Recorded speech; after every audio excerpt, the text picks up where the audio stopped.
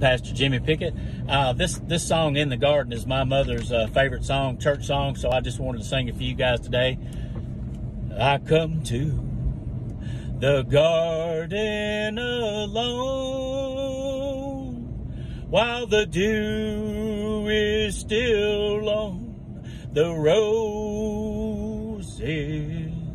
and the voice I hear falling on my ears, the Son of God discloses.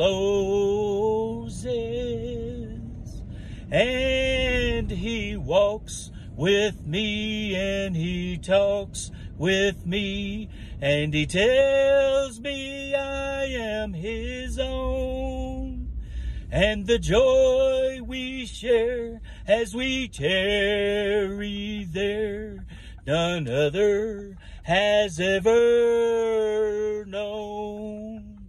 God bless you.